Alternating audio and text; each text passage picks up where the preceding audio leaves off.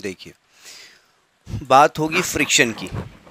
देखिए, अब होता क्या है फ्रिक्शन शब्द से तो कुछ आइडिया लग रही है ना कि फ्रिक्शन क्या होता है। लेकिन वैसे क्या होता है? ज़रा देखिए, हमने क्या किया? एक बॉडी एक सरफेस पे रखी। एक बॉडी ली, एक सरफेस पे रख दी हमने। और इस बॉडी पे हमने एक फोर्स लगाया ऐसे, दो न्यूटन का। या हम कहते एक न्यूटन का लगाया, और कम लगा दिया। अब फोर्स लगा दिया ना न्यूटन का नियम क्या कहता है?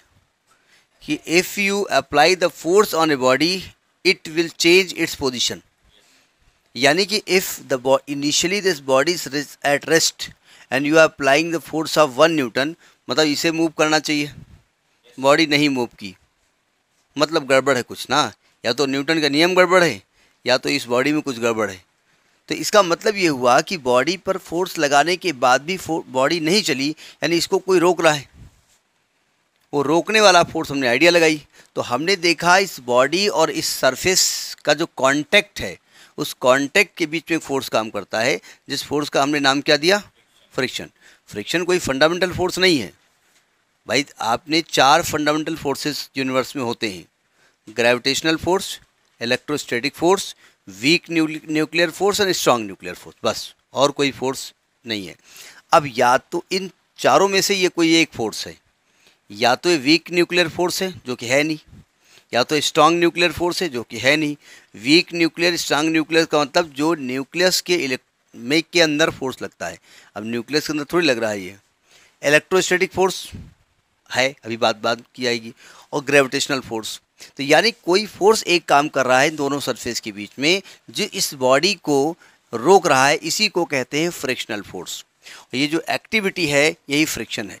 यानी जब किसी सरफेस से एक बॉडी रखी होती है और उस पर फोर्स लगाने पर दूसरी बॉडी अगर फोर्स लगाया जाए और बॉडी मूव ना करे तो हम कहते हैं इसका मतलब दोनों सरफेस के बीच में कॉन्टैक्ट सरफेस जो है कॉन्टैक्ट फोर्स काम कर रहा है, जो इस बॉडी के मोशन को अपोज कर रहा है। इसी को हम फ्रिक्शन कहते हैं। समझ भाई बात? नोट करिए ज़रा। फ्रिक्शन की definition when a body moves when a body moves और tends to move when a body moves और tends to move tends to move का मतलब ये हुआ कि बॉडी मूव तो नहीं कर रही ना। और फोर्स लगाओ, और फोर्स लगाओ। एक ऐसी स्टेज आएगी, उससे ज़्यादा फोर्स लगाओगे बॉडी मूव कर जाएगी। ठीक है? तो यानी जब तक वो मूव नहीं कर रही यानी कि उसकी टेंडेंसी मूव करने की है, लेकिन मूव नहीं करी वो। Tends to move over the surface of another body over the surface of another body over the surface of another body comma करके लिखिए a force comes into play a force comes into play which act parallel to the surface of contact.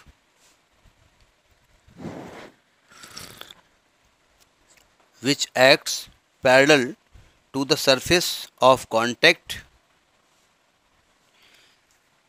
Surface of contact and oppose the relative motion. And oppose the relative motion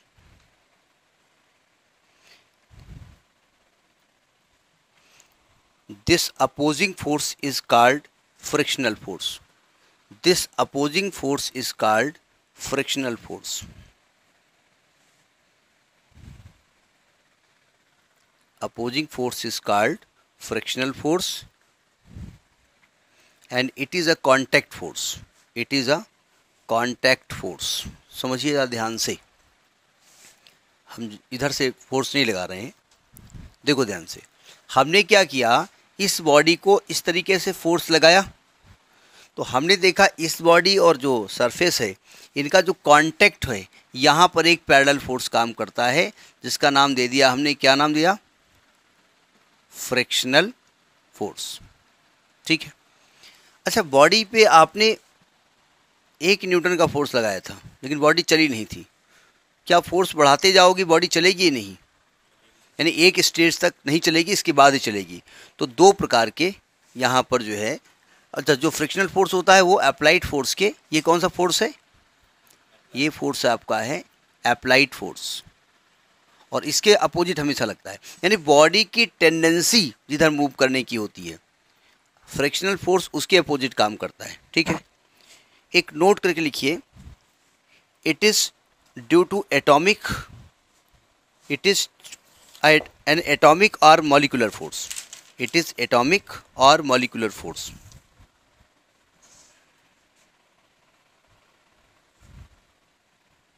ठीक है? क्या मतलब है? ज़रा समझिएगा। ये frictional force लगा क्यों? ये सरफेस है। इसके ऊपर एक बॉडी ये रखी हुई है। ठीक है? फ्रिक्शन होने का मतलब ये है कि दोनों खुरदरे होंगे कि चिकने होंगे। खुरदरे होंगे। ठीक है? जब ये बॉडी रखी होगी तो इसके मतलब इसको आप माइक्रो लेवल पे देखिएगा। माइक्रोस्कोपिक लेवल दो आपने पढ़े होंगे ना? Micro and micro M I C R O micro और M A C R O micro micro का मतलब होता है सूक्ष्म लेवल पे। तो जब बॉडी रखी गई होगी दूसरी वाली तो ऐसे कुछ इसके एटम्स फंस गए होंगे ऐसे आपस में। ठीक है? तो जब आपने इस वाली बॉडी को खींचा होगा तो ये एटम्स फंसे हैं ना? तो घसीटोगे आप जा के तो इसके कुछ इलेक्ट्रॉन टूट के इसमें आ गए होंगे। तो एक सरफेस के इलेक्ट्रॉन टूट के दूसरे सरफेस पे आ गए ना? तो यानी कि अगर जिससे इलेक्ट्रॉन टूटे, उसका नेचर कैसा हो गया? पॉजिटिव और जिसमें गए नेगेटिव अब दोनों आपस में ऐसे रगड़ हो रही थी तो एक नेगेटिव हो गया, एक पॉजिटिव हो गया। फोर्स कैसा लगेगा? अट्रैक्शन का। तो अट्रैक्शन का फोर्स लग गया। यानी ये एक दूसरे को अट्रैक्ट कर रहे हैं। इस वजह से उसको खींचने में हमको दिक्कत हो रही है। तो इसको कौन सा फोर्स माना गया है? ये इंटर एटॉमिक या मॉलिकुलर फोर्स है ये, ठीक है? अब देखिए, ज़रा समझने की कोशिश करिए। हमने क्या किया? हमने इस बॉडी पर एक फोर्स लगाया वन न्यूटन का, और हमने देखा बॉडी चली नहीं। ज़रा समझिएगा। फोर्स लगाने के बाद भी बॉडी नहीं चली। मतलब क्या हुआ? कि इस बॉडी पे नेट फोर्स कितना काम कर रहा होगा? ज़ीरो यानी कि इसका नेट फोर्स ज़ीरो करने के लिए फोर्स किस डायरेक्शन में लगना चाहिए? इसके अपोजिट कितना लगना चाहिए? वन न्यूटन क्योंकि अगर ये कहीं टू न्यूटन हो जाए तो फिर रिजल्टेंट इधर लगेगा और बॉडी चल देगी। हमने और बढ़ाया इसको इसको कर दिया टू न्यूटन तब भी बॉडी नहीं चली। तो यानी ये भी कितना हो गया होगा? टू न्यूटन यानी ये सेल्फ एडजस्टिंग फोर्स है। जितना फोर्स लगाओगे उतना ही वो पोजीशन में फोर्स लगेगा। हमने इसको लगा दिया थ्री न्यूटन तो इस बॉडी नहीं चली। तो यहाँ कितना हो गया? थ्री न्यूटन हमने जरा सा भी थ्री से थोड़ा सा बढ़ाया कि देखा बॉडी चल दी। तो कहने का मतलब थ्री न्यूटन तक ये बॉडी नहीं चल रही। थ्री पर आते आते ये जस्ट अबाउट टू मूव होने की पोजिशन है। तो इसको हम कहते हैं लिमिटिंग फ्रिक्शन क्या कहते हैं? लिमिटिंग और ये आपका स्टेटिक फ्रिक्शन होता है। स्टेटिक फ्रिक्शन का मतलब होता है कि बॉडी पे फ्रिक्शन फोर्स काम कर रहा है। अप्लाइड फोर्स यानी फोर्स लगाने के बावजूद भी बॉडी मूव नहीं कर रही नहीं कर रही ना। तो नेक्स्ट लिखिए स्टेटिक फ्रिक्शन फ्रिक्शन का एक पहला part static friction static friction the force of friction, the force of friction which comes into play, which comes into play between the two bodies, which comes into play between the two bodies before one body actually starts moving before one body actually starts moving moving over the another over the another. इसमें आपकी book में friction अलग से chapter है ठीक है? तो कोई बात नहीं अलग से हो चाहे उसमें हो। Over the another this frictional force is denoted by frictional force is denoted by F S इसको हम देखिए अब ये न लिखिएगा ये आपका अप्लाइड फोर्स है और ये फ्रिक्शनल फोर्स है एफ़ एस ये सब हटा दीजिएगा। ये तो समझाने के लिए था केवल। ठीक है? अब लिखिए limiting friction limiting friction limiting friction the maximum force of friction the maximum force of friction which comes into play which comes into play when a body just starts moving which comes into play when a body just starts moving over the surface of another body over the surface of another body is called limiting friction is called limiting friction. Over the surface of another another body? Is called limiting friction. जब आपको static friction आएगा तो आप दोनों definition को मर्ज करके आप लिख सकते हैं, ठीक है? सम, अपने आप, अपनी लैंग्वेज बना सकते हैं ना, कि जैसे जैसे फोर्स बढ़ाते जाते हैं फ्रिक्शन फोर्स बढ़ता जाता है, ये स्टैटिक फ्रिक्शन होता है, ठीक है? ये ये जो फोर्स लग रहा है जो इस बॉडी को मूव करने से रोक रहा है, इसको हम स्टेटिक फ्रिक्शनल फोर्स कहते हैं। जैसे जैसे अप्लाइड फोर्स बढ़ाते हैं, एक ऐसी स्टेज आती है कि जस्ट अबाउट टू स्लाइड होने की कंडीशन होती है बॉडी की। उस कंडीशन में जो फ्रिक्शनल फोर्स एक्ट करता है, उसको हम क्या कहते हैं?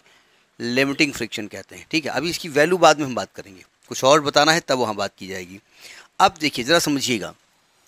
आपने क्या किया? अभी हमने बताया कि आपने थ्री न्यूटन का फोर्स लगाया था बॉडी नहीं चली थी, और थ्री से जरा सा थोड़ा बढ़ा दिया और बॉडी चल दी।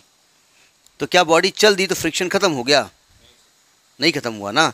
अभी भी लग रहा है तो क्या करना पड़ेगा आपको? लगातार फोर्स लगाते रहना पड़ेगा। अब दो कंडीशंस यहाँ पर हैं। अच्छा जब बॉडी चल देती है, उस समय फोर्स कम लगाना पड़ता है, ज़्यादा लगाना पड़ता है? प्रैक्टिकली बना बना करिए केवल आप रटिए नहीं, फिजिक्स को, फिजिक्स का मतलब होता है अपनी खोपड़ी में एक ब्लैक बोर्ड बना करके और थोड़ा विजुलाइज करना। आप साइकिल जब चलाना शुरू करते हैं, बोले, हम क्या साइकिल चलाएँ? पिताजी का कार है, हम बाइक चलाएँगे, बड़े आए साइकिल वाले, साइकिल तुम चलाओ, मास्टर हो। मान लेते हैं, एक एग्ज़ाम्पल ले लेते हैं। जब साइकिल पर आप बैठ के उसको बस पैडल मारने की कोशिश करते हैं तो थोड़ा ताकत लगती है ना? और जब चल देती है, उसमें ज़्यादा ताकत लगती है चलाते रहने में। तो वही मैं पूछ रहा हूँ, अब ज़्यादा लगेगा। यानी जब बॉडी चल देती है तो फोर्स हमको कम लगाना पड़ता है। लेकिन लगाना पड़ता है। क्यों? भाई चल दी चल दी तो उसको चलाते रहने के लिए लगाना पड़ेगा। क्योंकि चलने के बावजूद भी एक फोर्स काम करेगा जो उसको अपोज करेगा। उसको हम क्या कहेंगे? काइनेटिक फ्रिक्शन तो नेक्स्ट लिखिए काइनेटिक और डायनेमिक फ्रिक्शन नेक्स्ट है काइनेटिक और dynamic friction dynamic friction. Kinetic or dynamic friction. The force of friction the force of friction which comes into play the force of friction which comes into play when a body is in the state of when the body is in the state of steady motion कैसा motion इसमें हो steady motion हो steady motion in the state of steady motion over the surface of another body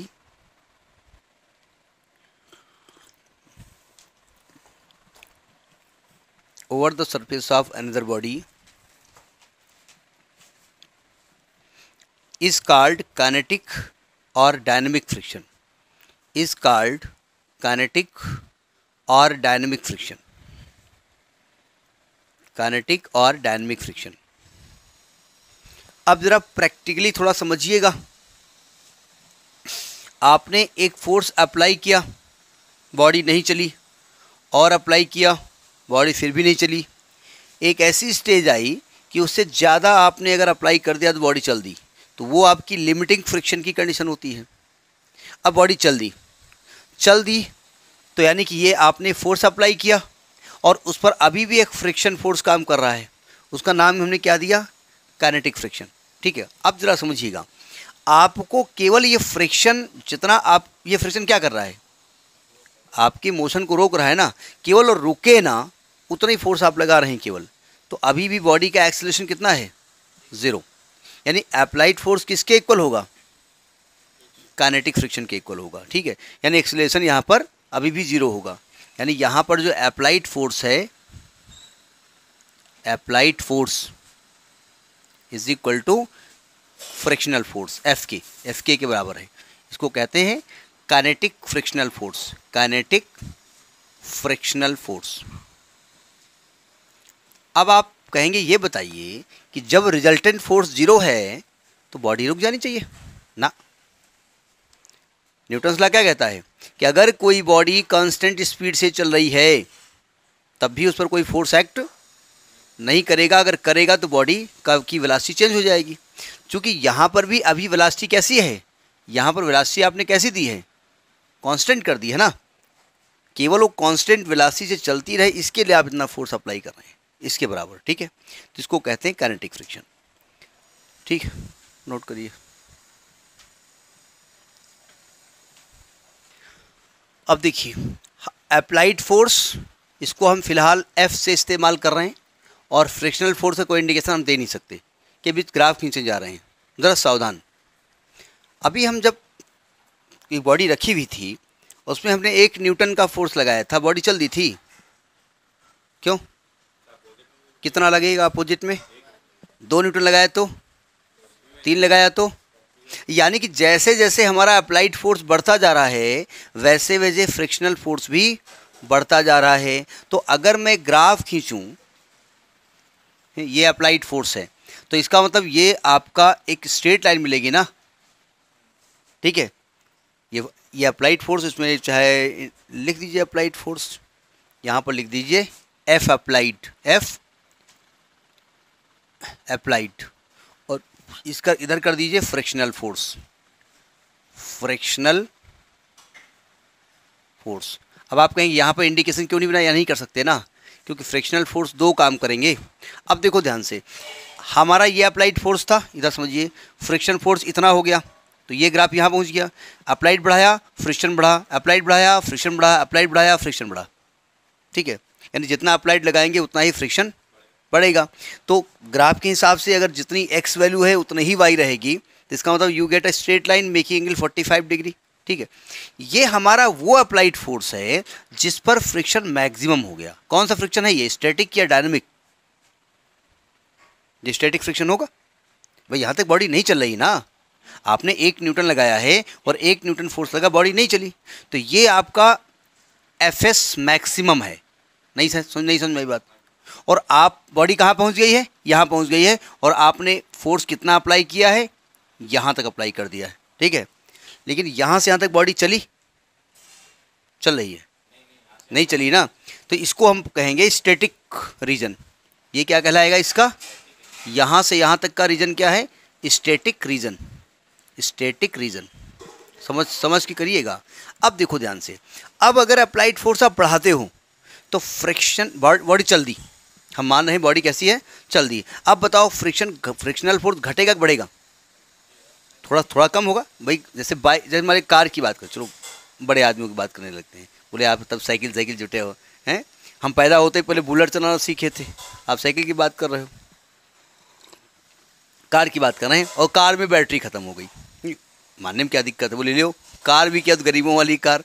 मान लेते battery खत्म हो गई। अब धक्का मारना पड़ गया। ठीक है? अब जब धक्का मार रहे हो अभी कार नहीं चली। फोर्स ज़्यादा लगाना पड़ेगा ना। लेकिन जब धक्का मार के कार चल देती है तब? तब थोड़ा सा। अब देखो इसके आगे अप्लाई किया तो फ्रिक्शन थोड़ा सा कम हो गया। समझिए फ्रिक्शन थोड़ा सा कम हो गया। थोड़ा ही कम होगा ठीक है? यानी अब ये आपका ये, ये इतना फ्रिक्शनल फोर्स है। ये फ्रिक्शनल फोर्स है। इसको कहेंगे काइनेटिक फ्रिक्शन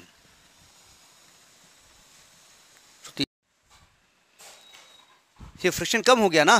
कितना हो गया? एफ़ के हो गया? अब ज़रा देखिएगा। आपने अप्लाई कितना किया फोर्स आगे अप्लाई करते जा रहे हैं। कितना अप्लाई करेंगे?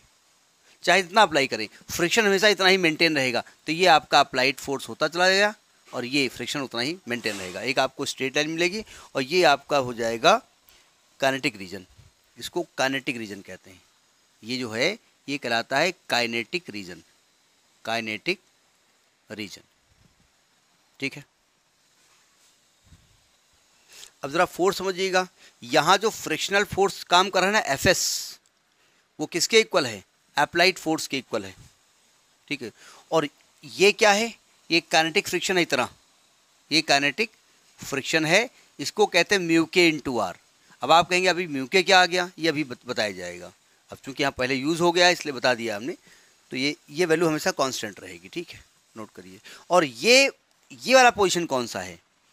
ये वो पॉइंट है जहाँ से बॉडी जस्ट जो है चलने वाली होती है, ठीक है? इसका नाम दिया गया है ब्रेक अवे ब्रेक अवे इसको ब्रेक अवे कहते हैं।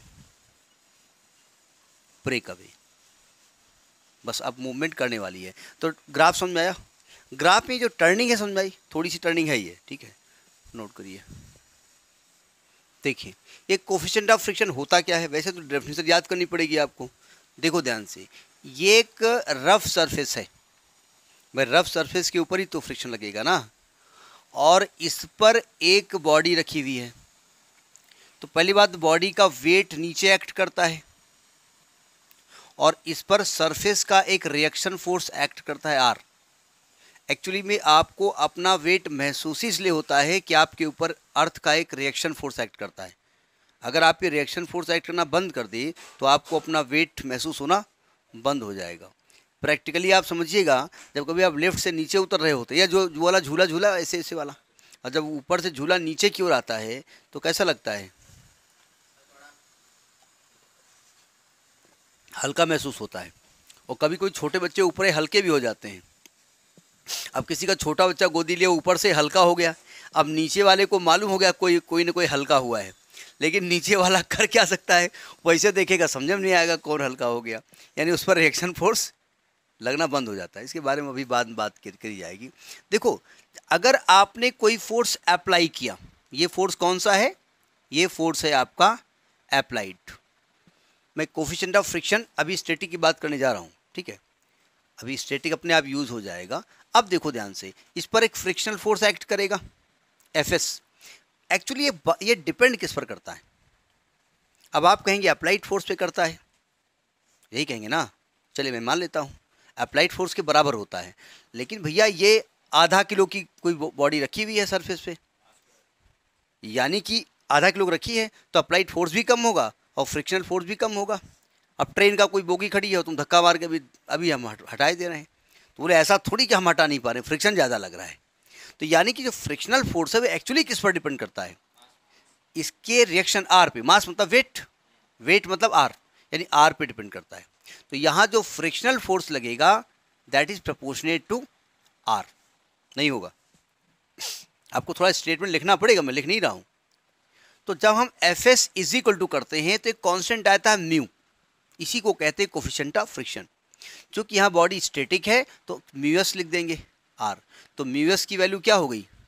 एफ़ एस अपान आर तो अगर हमसे कहे, हम डेफिनेशन आपसे पूछें कि what is the coefficient of friction तो आप क्या कहेंगे? द रेशियो ऑफ़ ये कौन सा फ्रिक्शनल फोर्स है? लिमिटिंग फ्रिक्शन जब मैं फ्रिक्शन की बात करता हूँ तो मैं बात लिमिटिंग फ्रिक्शन की करता हूँ। नहीं स्टेटिक फ्रिक्शन कौन सा? स्टेटिंग अरे भाई स्टेटिक फ्रिक्शन नहीं डिनोशन एक ही होता है उसका। लिमिटिंग फ्रिक्शन मतलब स्टेटिक कौन सा? लिमिटिंग वो मैक्सिमम कि उससे ज़्यादा फोर्स आपने अप्लाई किया कि बॉडी चलना शुरू कर देगी।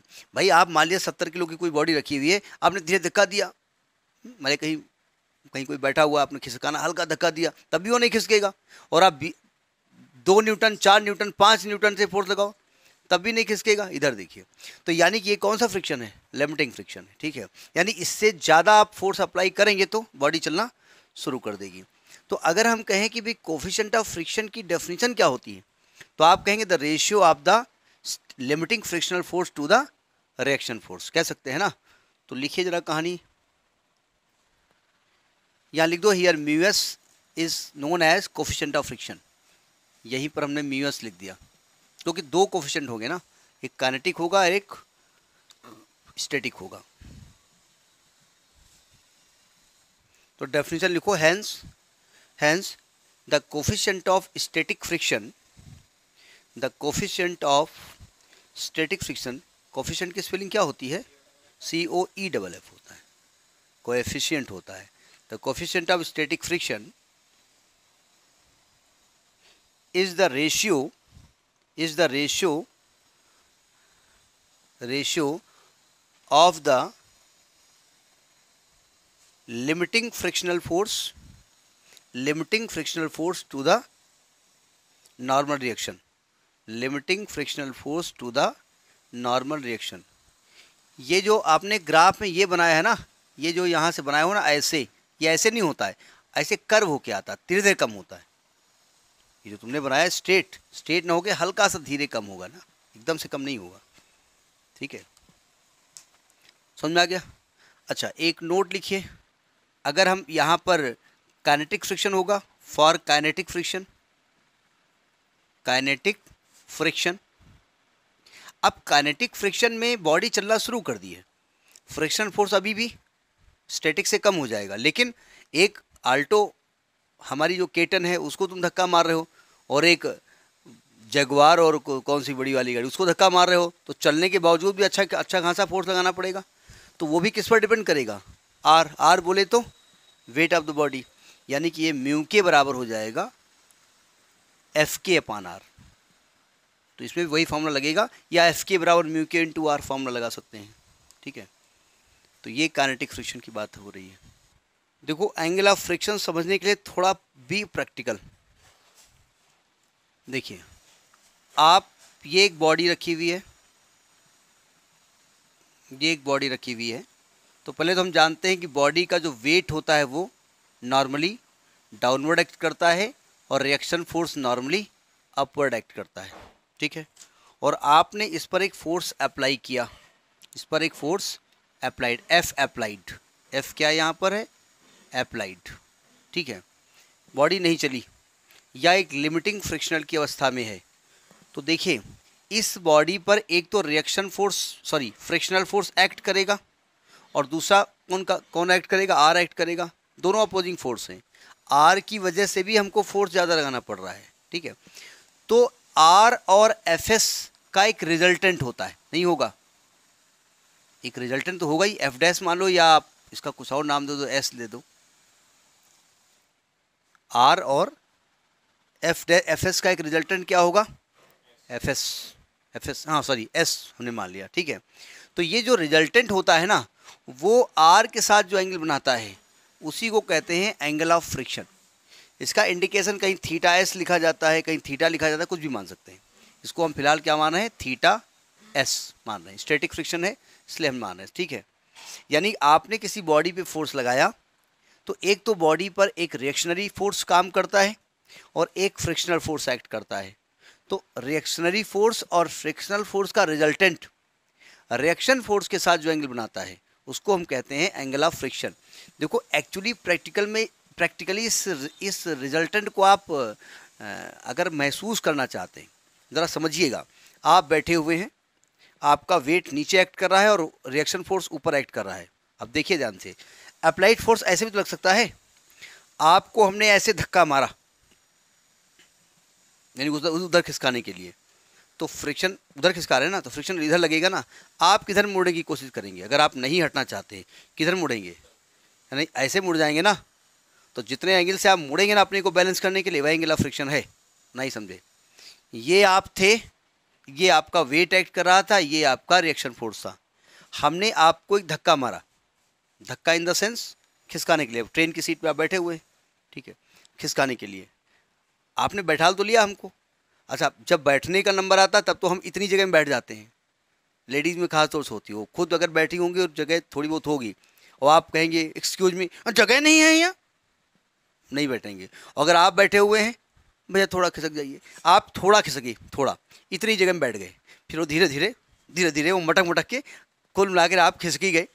अब मान लिया आप नहीं खिसकना चाहते तो आपको धक्का लग रहा ना उधर, और आप अपने आप को न खिसकें, इसके लिए क्या करना पड़ेगा? कि आपको अपोजिट घूमना पड़ेगा ना? प्रैक्टिकली समझ में आ रही बात? नहीं आ रही है। तो यही जितने एंगल से आप घूमे हैं ना, इसी को एंगल ऑफ़ फ्रिक्शन कहते हैं। लेकिन अगर ये चीज़ एग्ज़ाम में लिख देंगे कि हम बैठे हो, कोई आई हमको, किसी ने हमको धक्का मारा, हमने ऐसे झुका लिया, जितने एंगल से झुकाया तो ना तो एग्जामिनर समझ पाएगा और ना तो ना तो डेफिनेशन समझ में आएगी कि बोल क्या रहा है, ठीक है। तो इसलिए डेफिनेशन तो यही लिखी जाएगी। तो थोड़ी कहानी एक्सप्लेन करके लिख दीजिएगा, लिखिएगा एंगल ऑफ़ फ्रिक्शन लिखिएगा। अब इसमें तो डायरेक्ट दे दिया जा करके। देखिए the when we apply the force on a body थोड़ा कहानी लिख एक्सप्लेन करके लिखिएगा। When we apply the force on a body.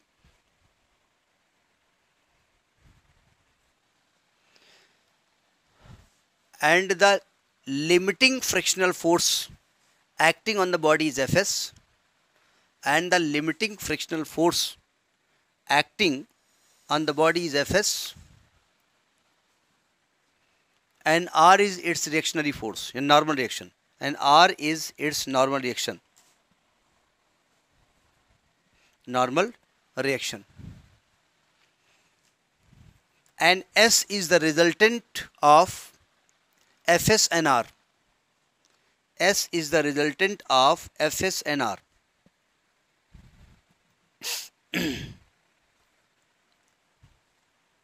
Then the angle between S and R is known as angle of friction.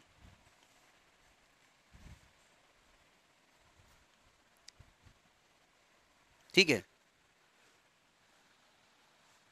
Is known as angle of friction अच्छा definition अपनी language में लिख सकते हैं ना? आप लिख सकते हैं S is the resultant of R and F S the angle which S makes with R is known as angle of friction denoted by theta S अब थीटा एस कोई इसके अब्बा हुजूर ने नाम नहीं दिया है। ठीक है? आप थीटा थीटा एस अल्फ़ा कुछ भी मान सकते हैं। ज़्यादातर थीटा और S indicate for the static के लिए यूज़ होता है। अब वैल्यू निकाली कैसे जाए? वैसे डायरेक्ट निकाल सकते हैं। देखिए, ये दो फोर्स दिख रहे हैं आपको। ये रिजल्टेंट है। अगर यहाँ पर आप एक पैडलोग्राम कंप्लीट कर दें तो आपने parallelogram law of vector addition पढ़ा है। अब आप सोच रहे होंगे, पूछ न लें। आपने पढ़ा है, इधर देखिए if two vectors are represented in magnitude and direction by the two adjacent sides of parallelogram from a point then the diagonal from that point represent the resultant ये होता है ना? अब ठीक इसलिए है कि अब तो नहीं पूछेंगे, अब तो बता ही दिया है, ठीक है? अब देखो ध्यान से, अब थीटा एस निकालना है, ये ट्रायंगल दिख रहा है आपको? अगर मैं टेन थीटा एस निकालूं तो tan theta is equal to क्या होता है? परपेंडिकुलर पान बेस तो इसके हिसाब से ये परपेंडिकुलर है ना? और ये किसके पैडल है? एफ़ के। तो एफएस और बेस कितना है? आर और एफएस को अभी आप बता चुके म्यू एस इंटू आर इसके पहले, upon R R R cancel हो गया तो यानी कि mu S is equal to आ गया टेन थीटा एस तो एक तरीके से आप कह सकते हैं कि अगर एंगल ऑफ़ फ्रिक्शन का टेन ले लिया जाए तो आपको क्या मिल जाता है? कोफिशेंट ऑफ़ फ्रिक्शन ठीक है? नोट करिए. तो एक डेफिनेशन और यहाँ बन सकती है कोफिशेंट ऑफ़ फ्रिक्शन की. क्या बन सकती है? कि it is the tangent of the angle of friction angle of friction का अगर टेन ले लीजिएगा तो आपको क्या मिल जाएगा?